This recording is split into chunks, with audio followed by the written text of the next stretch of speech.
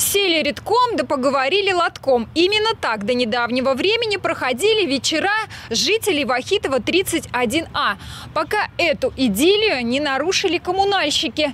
Теперь на 6 подъездов скамейка осталась только одна. И это при том, что 80% жильцов – это люди преклонного возраста.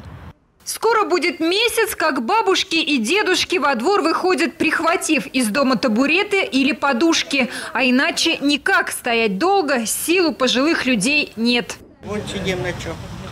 Ноги-то у меня не ходят. Зачем вырвали? А пенсионерки, выйдем, посидим хоть маленечко. Сделают, звоните каждый день. Ну, о чем мы Да, звоним? да, сам- да, так и А вы говорят. вот звонили? Да сколько А раз чё звонить-то? звонил. Что говорят вам? Да ничего не говорят. Сделаем, сделаем, да и все. Я раза два или три звонила. Вот так и сидят. Одни прямо на крыльце, другие облюбовали детскую песочницу, третьи вообще перестали выходить на улицу. Отцу 90 лет, участник, ветеран. Э, Вот 90 лет был, даже приходили, его поздравляли. Очень э, такой позитивный человек. Ну, прогулка для него очень важна. Он ходил на улице, сидел на лавочке и приходил такой на позитиве. Сейчас он не выходит, потому что он устает, стоять не может, далеко идти боится. И у него день, получается, он каждый день смотрит и не выходит.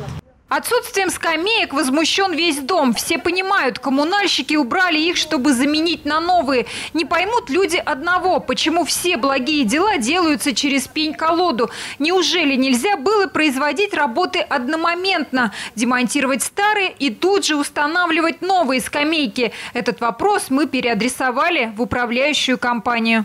Так и было запланировано а, изначально. А, в начале, когда мы заказывали эти скамейки, а, сроки обговаривались, соответственно, поставщиком. Но вот, к сожалению, он ссылается на большой объем работ, и у него там прошел какой-то сбой, то ли с оборудованием, то ли с поставкой его поставщиков. И поэтому вышел вот такой неприятный инцидент. Проблему с поставщиками управляющая компания уже урегулировала. Новые, более удобные и практичные скамейки с урнами обещают установить уже к концу этой недели. Если точнее, к пятнице. Наталья Лушникова, Марсель Джураев. Новости НТР.